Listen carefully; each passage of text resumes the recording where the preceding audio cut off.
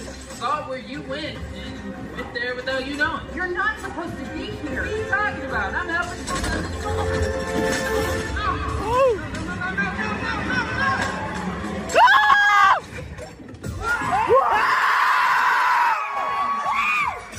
Eh,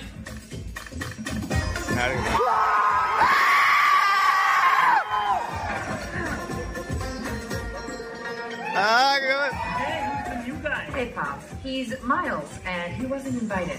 Oh, you weren't invited and you came anyway. Right? Hey, you guys must be in love with you. Okay. very good at reading people. Who are you? I'm glad you asked, you guys. I'm not a new guy. My name is Pavitr Prabhakar. and even he got a watch? Yeah. Being Spider-Man is so easy.